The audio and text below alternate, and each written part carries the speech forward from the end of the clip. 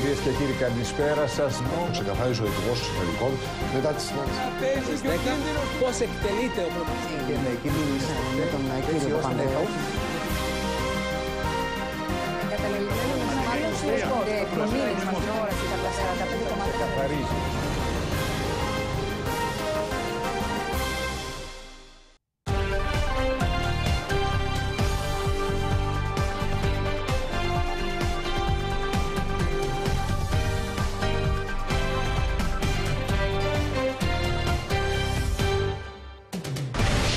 Στην κόψη του ξηραφιού οι διαβουλεύσεις για το ελληνικό χρέος. Κρίσιμη συνεδρίαση στη Ρώμη με τους τραπεζίτες και τους οίκους αξιολόγησης.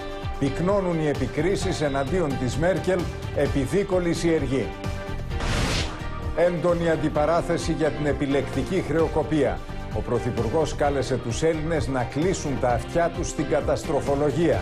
Σφοδρή επίθεση στη Νέα Δημοκρατία και από τον Ευάγγελο Βενιζέλο.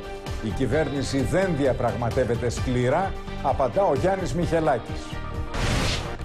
Αισιόδοξα μηνύματα από τη θωράκιση των ελληνικών τραπεζών απέναντι στην κρίση. Πέρασαν με επιτυχία τα τεστ αντοχής. Απέτυχαν αρκετά χρηματοπιστωτικά ιδρύματα από την Ισπανία αλλά και τη Γερμανία. Στο στόχαστρο του Υπουργείου Οικονομικών οι Έλληνες που έβγαλαν χρήματα στο εξωτερικό. Απειλούνται με έλεγχο στους λογαριασμούς, τους αδήλωτους τόκους που λαμβάνουν και τις κινήσεις των πιστωτικών καρτών.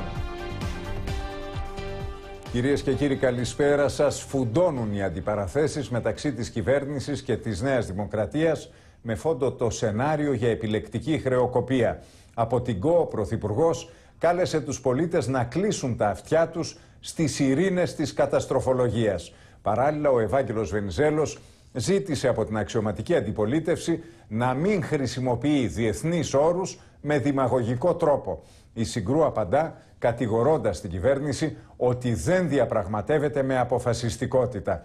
Πάμε να δούμε το ρεπορτάζ αμέσως μετά. Πληροφορίες και σχόλια από τον Άκη Παυλόπουλο, την Κάτια Μακρύ και τον Ανδρέα Κωνσταντάτο, ενώ φιλοξενούμε απόψε τον κύριο Μανώλη Κοτάκη, αρθρογράφο της εφημερίδας Δημοκρατία. Μήνυμα Παπανδρέου από την ΚΟ με φόντο της σφοδρή πολιτική σύγκρουση που έχει ξεσπάσει για την επιλεκτική χρεοκοπία. Ο Πρωθυπουργός δήλωσε ότι υπάρχει αισιοδοξία παρά την κρίση. Είμαι περήφανος για την Ελλάδα, την Ελλάδα που δίνει τη μάχη παντού. Στην Ευρώπη για μια σίγουρη πορεία, στην Ελλάδα σε κάθε γωνιά για μεταρρυθμίσεις και αλλαγές, για παραγωγική δημιουργική Ελλάδα και είναι η Ελλάδα που δεν έχει μόνο προβλήματα, είναι η Ελλάδα που έχει θετικά παραδείγματα. Ο Γιώργος Παπανδρέου πάντως κατηγόρησε τα μέσα μαζικής ενημέρωσης αλλά και την αντιπολίτευση ότι δημιουργούν αρνητικό κλίμα, προκαλώντας την έντονη αντίδραση της Νέας Δημοκρατίας. Όλοι έχουν γίνει ειδικοί για την Ελλάδα, όλοι έχουν γίνει ειδικοί και όλοι έχουν γίνει ειδικοί για το πώς θα χειριστεί, χειριστούν και το χρέος. Δεν υπάρχει κανένας που να μην λέει και την άποψή του.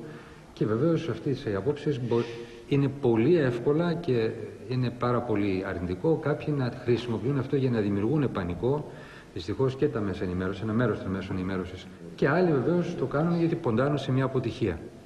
Θέλετε για μικροκομματικούς λόγους, θέλετε άλλοι για κερδοσκοπικούς λόγους. Φτάσαμε στο σημείο να καταγγέλουν το κλίμα ανασφάλειας αυτοί που καθημερινά με πράξεις και δηλώσεις το δημιουργούν. Η κόντρα για το τι σημαίνει επιλεκτική χρεοκοπία συνεχίζεται με τη σύγχυση να παραμένει και εντός Πασόκ. Ενώ παρακαλώ από την τρίτη που γύρισα από το Eurogroup και το ECOFIN να μην γίνεται δημαγωγική και προκλητική χρήση ενός συγκεκριμένου όρου. Και ενώ είπα ότι πρέπει να χρησιμοποιούμε τον αγγλικό όρο γιατί δεν υπάρχει ακριβής ελληνική μετάφραση και δημιουργείται μια παραπιστική, παραπλανητική εικόνα έρχονται αρχηγοί και εκπρόσωποι κομμάτων δεν αναφέρομαι στους εκπροσώπους του τύπου και τους διαμορφωτές της κοινής γνώμης που δημιουργούν αυτή την ψευδή εντύπωση νομίζοντας ότι κάνουν τι, νομίζοντας ότι στρέφονται κατά ποιου, κατά της κυβέρνησης, κατά του Πρωθυπουργού; Εμείς λέμε πάμε για ελεγχόμενη ε, χρεοκοπία. Δεν μας ενδιαφέρει θα την πούνε μη πιστοτικό γεγονός ή πιστοτικό γεγονός ή βιωσιμότητα του χρέους. Η Ευρωπαϊκή Ένωση δίνει πολύ μεγάλη σημασία στη λεκτική απεικόνηση των, ε, των εξελίξεων. Δεν έχει καμία σχέση με, πλη- με χρεοκοπία, με στάση πληρωμότητα. Αργό τον οίκων αξιολογούμε. Ακριβώς. Τον διάλογο μας, εγώ την λέξη δεν θα την πω με οποιοδήποτε προσδιορισμό επιθετικό ή άλλον, για τον πολύ απλό λόγο ότι ως ενδεχόμενο δεν υφίσταται πλέον. Τα τελευταίες τρεις μέρες παρακολουθώ και εγώ το δημόσιο διάλογο και έχω την αίσθηση ότι παρακολουθώ το έργο του Βυζάντιου η Βαβυλωνία. Ο καθένας χρησιμοποιεί έναν όρο, τον όρο αυτό της επιλεκτικής χρεοκοπίας, με τελείως διαφορετικό νόημα και έχει επικρατήσει πλήρη σύγχυση. Κυβερνητικά στελέχη πάντως διευκρίνησαν ότι αν υπάρξει επιλεκτική χρεοκοπία, θα είναι μέρος ενός σύνθετου πακέτου για διαχείριση του χρέους που θα περιλαμβάνει διάφορα εργαλεία. Μεταξύ των οποίων μείωση επιτοκίου, επαναγορά χρέους από τη δευτερογενή αγορά, μετακύληση ομολόγων και ευελιξία του Ευρωπαϊκού Μηχανισμού Στήριξης. Πάμε στο προϊστάμενο του πολιτικού μας ρεπορτάζ, τον Ανδρέα Κωνσταντάτο, να μας πει περισσότερα. Ανδρέα. Νίκο, στην κυβέρνηση περιμένουν με αγωνία να βγει λευκός καπνός από τη Ρώμη, όπου επί τρεις μέρες συνεδριάζουν τραπεζικοί, κοινοτικοί υπάλληλοι για να βρουν λύσει στο πρόβλημα του ελληνικού χρέους, αλλά και γενικότερα στο πρόβλημα κρίσης χρέους στην Ευρωζώνη. Πληροφορίες από τη συνεδρίωση αυτή λένε πως διαμορφώνεται ένα θετικό κλίμα για την ελληνική υπόθεση, αλλά επειδή είναι πάρα πολύ ρευστά όλα, δεν ξέρουν πού θα καταλήξουν. Και μπορούν να καταλήξουν, να καταλήξουν στη Ρώμη ακόμα και απόψε. Όλοι μιλούν πάντως για ένα συνδυασμό προτάσεων που θα ικανοποιεί τις πλούσιες χώρες, Γερμανία, Ολλανδία, Φιλανδία, τους οίκους αξιολόγησης, έτσι ώστε να μην οδηγήσουν την Ελλάδα και την υποβαθμίσουν στο επίπεδο της επιλεκτικής χρεοκοπίας, αλλά να είναι ταυτόχρονα και αποτελεσματικές για τη διαθέτηση του δικού μας χρέους και αυτό βεβαίως είναι και το πρόβλημα. Να τετραγωνίσουν λίγο πολύ τον κύκλο. Μέσα αυτές τις προτάσεις περιλαμβάνεται η επιμήκυση λήξη των δανείων, η μείωση των επιτοκίων, η επαναγορά ελληνικών ομολόγων από τη δευτερογενή αγορά και βεβαίως ο τρόπος συμμετοχής των ιδιωτών στην ανταλλαγή των ομολόγων, έτσι ώστε όμως να μην προκαλείται αυτό που λέμε πιστοτικό συμβάν και να πει και το OK ο κύριος Τρισέ με την Ευρωπαϊκή Κεντρική Τράπεζα. Τώρα, αυτό είναι το ένα ζήτημα. Το άλλο ζήτημα είναι ο χρόνος που θα ανακοινωθεί και που θα εφαρμοστεί αυτό το σχέδιο, εάν αποφασιστεί. Η Αθήνα ζητάει εδώ και τώρα την εφαρμογή αυτού του σχεδίου.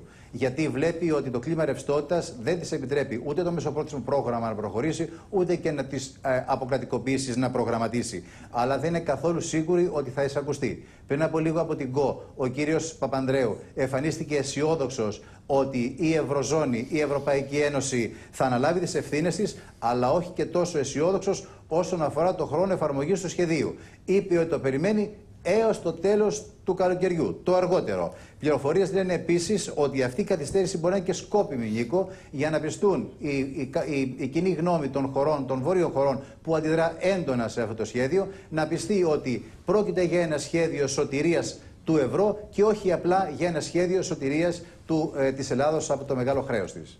Πάμε στον Άκη Παυλόπουλο για το σχόλιο του. Στέλεχος του Οικονομικού Επιτελείου της Κυβέρνησης μου έλεγε πριν- λίγο πριν το δελτίο Νίκο ότι υπάρχει αχτίδα αισιοδοξία από τις κρίσιμες διαβουλεύσεις της ε, της Ρώμης και μπορούν στην κυβέρνηση να ελπίζουν ότι θα φτάσουμε σε μια κάποια λύση ε, ώστε να ικανοποιηθούν ή αν θες να πιστούν οι οίκοι αξιολόγησης και να μην θεωρήσουν αυτή τη λύση ως πιστοτικό γεγονός. Μου έλεγε χαρακτηριστικά ότι δεν θα είναι μια λύση ε, που θα έχει έναν άξονα. Θα είναι ένα μείγμα ε, ε, προσεγγίσεων, ένα, ένα κοκτέιλ να το πούμε έτσι, προσεγγίσεων, ε, προ- προκειμένου να ικανοποιηθούν όλες οι πλευρές, έτσι ώστε οι οίκοι αξιολόγησης να μην μιλήσουν, να μην το θεωρήσουν πιστοτικό γεγονός. Μου έλεγε επίσης ότι αυτή τη στιγμή που μιλάμε μπορεί να μου πει ότι το ενδεχόμενο της επιλεκτικής χρεοκοπίας έχει απομακρυνθεί από το τραπέζι, δεν είναι πάνω-πάνω να το πούμε έτσι, στα σενάρια τα οποία εξετάζονται, εξετάζονται στην, ε, ε, στην, στις διαβουλεύσεις της Ρώμης. Μου έλεγε επίσης δύο ακόμη στοιχεία, ότι ε, ε, μπορούν να είναι αισιόδοξοι γιατί θεωρούν ότι βοηθάει η πίεση των ΗΠΑ στην Άγγελα Μέρκελ, Α, είδαμε, την, ακούσαμε τις ΗΠΑ να κατηγορούν ουσιαστικά την Άγγελα Μάρκε- Μέρκελ για κολυσιεργία η οποία είναι εξαιρετικά επικίνδυνη και από την άλλη πλευρά θεωρούν ότι η παρέμβαση του Τρεμόντι, του Ιταλού Υπουργού, είναι εξαιρετικά σημαντική υπέρ της Ελλάδος. Θυμίζω ότι ο Τρεμόντι είπε ότι στον Τιτανικό δεν πνίγονται μόνο οι κατώτερες θέσεις, αλλά και αυτοί που είναι στην πρώτη. Πάμε στην Κάτια Μακρύ. Και αυτό βεβαίως που είπε ο κύριος Τρεμόντι είναι σαφές πονούμενο για την κυρία Μέρκελ. Είναι στην πρώτη θέση της Ευρώπης, αλλά αν η Ευρώπη μετατραπεί σε ένα οικονομικό τιτανικό, ούτε εκείνη θα την γλιτώσει, ούτε βεβαίως ο γίγαντας που είναι η Γερμανία. Τη στέλνουν όλοι τα μηνύματα της κυρίας Μέρκελ, τη στέλνουν και οι τραπεζίτες, τη στέλνουν και οι Γερμανοί τραπεζίτες ακόμα και οι Γάλλοι τραπεζίτες, οι οποίοι βρίσκονται στην ε, Ρώμη νυχθημερών και συνεδριάζουν και μετά έχουν απευθεία επικοινωνία βεβαίως με τις ε, κυβερνήσεις των κρατών τους. Αυτή τη στιγμή φαίνεται η Γερμανία, τουλάχιστον όπως προκύπτει από όλα τα διεθνή δίκτυα, να κάνει μισό βήμα πίσω σε ό,τι αφορά την επαναγορά ομολόγων από τον ε, μηχανισμό, τον Ευρωπαϊκό Μηχανισμό, τον περίφημο πια EFSF. Θα δούμε όμως τι θα γίνει, γιατί προσπαθούν να συνδυάσουν δύο πράγματα την πρόταση του κυρίου Τρισέ να μην είναι μέσα οι ιδιώτες καθόλου, γιατί αυτό μπορεί να θεωρηθεί υπό όποια μορφή επιλεκτική χρεοκοπία, και την πρόταση της Μέρκελ ότι οπωσδήποτε πρέπει να είναι μέσα οι ιδιώτες, ώστε να μην επιβαρυνθούν περισσότερο οι Γερμανοί φορολογούμενοι. Έχουν εξεταστεί άπειρα σενάρια αυτό το διήμερο στη Ρώμη, με πολλές τεχνικές λεπτομέρειες, πολλές και δύσκολες τεχνικές λεπτομέρειες, και όλοι προσπαθούν να καταλάβουν πού θα πάει, πού θα κλείσει και πού θα κουμπώσει το πράγμα. Βεβαίως τώρα, η αγορά ομολόγων από την ε, δευτερογενή αγορά έχει πια ένα μειονέκτημα. Ότι συνήθως αυτό γίνεται κρυφά. Δηλαδή, επαναγοράζεται στην τρέχουσα τιμή το ομόλογο του 60 ή του 70% ή σε όποια τιμή πουλιέται, κρυφά. Όταν βγεις και το πεις. Ευνηδιαστικά. Όταν βγεις και το πεις, όλοι ανεβάζουν τις τιμές των ομολόγων. Όταν ξέρουν δηλαδή ότι υπάρχει ένας ευρωπαϊκός κουμπαράς, ο οποίος θα αγοράζει ομόλογα στις τρέχουσες τιμές, θα αγοράσουν τις τιμές των ομολόγων. Άρα λοιπόν μπορείς να αγοράσεις μικρότερο μερίδιο του χρέους σου. Ο αντίλογος αυτό είναι ότι αν γίνει αυτό, θα μειωθούν τα spreads. Οπότε η Ελλάδα μπορεί να βγει πιο σύντομα στις αγορές. Πάντως, αυτή τη στιγμή που μιλάμε, καμία λύση, ή τουλάχιστον η κυβέρνηση, δεν είναι σε θέση να μας πει καμία οριστική λύση. Όλα είναι ανοιχτά σαν βεντάλια και όλα συζητιόνται. Πάμε και στον κύριο Κοτάκη για να έχουμε και το δικό του σχόλιο. Κύριε Χατζηνικολάου, μακάρι να επιβεβαιωθούν οι πληροφορίες που μεταδίδει το Άλτερ, ότι δηλαδή θα αποφευθεί η, επιλεκτική χρεοκοπία. Αυτό που δεν φαίνεται να τελειώνει αυτή τη στιγμή είναι η φλιαρία των στελεχών της κυβέρνησης, από τα οποία κανείς θα περίμενε περισσότερο να εργάζονται και να δουλεύουν παρά να ομιλούν. Γιατί το παρελθόν, το πολύ πρόσφατο παρελθόν, μας έδειξε δύο πράγματα. Ότι οι λέξεις κοστίζουν και κοστίζουν ακριβά και οι κρίσεις, οι οικονομικές κρίσεις, δεν είναι θηρία τα οποία τα δαμάζει με τις λέξεις. Άκουσα πριν τον κύριο Πρωθυπουργό να λέει ότι έχουν ευθύνη για τα μέσα μαζικής ενημέρωσης. Μα τα μέσα μαζικής ενημέρωσης έβαλαν τον κύριο Παπακοσταντίνου πριν από δύο χρόνια να πει θα φορολογήσω τις καταθέσεις και πέταξαν μέσα σε 7 μέρες 30 δις στην Ελβετία. Τα μέσα ενημέρωσης έβαλαν την κυρία Δαμανάκη να πει ότι θα αποχωρήσουμε από το ευρώ και πέταξαν σε τρεις μέρες 7 δις. Τα μέσα ενημέρωση έβαλαν πάλι τον κύριο Παπακοσταντίνου να πει ότι αν δεν δεχτούμε το μεσοπρόθεσμο θα έχουμε στάση πληρωμών και πέταξε ένα ποσό 10 δισεκατομμύριων δραχμών από τις τράπεζες, ή μήπως τα μέσα ενημέρωσης οδήγησαν τον κύριο Παπαδρέου να πει να κάνει περιοδία τουρ σε όλο τον κόσμο και να λέει ότι η Ελλάδα είναι μια χώρα διεφθαρμένων, να ανεβαίνουν τα spreads και ο τελικός λογαριασμός της διάσωσης από τα 30 δις ευρώ που ήταν υπολογίστηκε από τον Gordon Brown στα 120. Κανείς από όλους μας, κανείς από τα μέσα δεν νομίζω ότι όθησε όλους αυτούς στο να ε, φτιάξουν ένα λογαριασμό ο οποίος κοστίζει στον ελληνικό λαό 147 δις. Τόσα ε, ε, είναι τόσο είναι το κόστος των λέξεων που είπαν στο παρελθόν οι κύριοι Υπουργοί και ο κύριος Πρωθυπουργός. Κατά συνέπεια, συμπεραίνω χάρτια μου λιγότερες κουβέντες και περισσότερο κουβέντες, έργο. Στο λιγότερες κουβέντες, εγώ δεν θα διαφωνήσω καθόλου. Αλλά αν ήταν οι λέξεις να μας κοστίζουν και όχι τα πραγματικά προβλήματα, όπως το 15% έλλειμμα και το χρέος, θα ήμασταν ευτυχείς. Θα λέγαμε μόνο καλές κουβέντες. Πάντως, αν μου επιτρέπετε, το δίλημα μεσοπρόθεσμο ή χρεοκοπία δεν το έθεσαν τα μέσα ενημέρωσης. Τώρα, κρίσιμες διαβουλεύσεις βρίσκονται σε εξέλιξη στη Ρώμη για την οριστική επίλυση του ελληνικού προβλήματος. Τραπεζίτες, Ευρωπαίοι αξιωματούχοι και εκπρόσωποι των οίκων αξιολόγησης έχουν θέσει επιτάπητος σε όλα τα εναλλακτικά σενάρια και τις νέες προτάσεις για την ανταλλαγή ομολόγων. Ταυτόχρονα, πληθαίνουν οι επικρίσεις κατά της Μέρκελ επειδή κολυσιεργεί και μπλοκάρει τα σχέδια των άλλων ηγετών της Ευρωζώνης.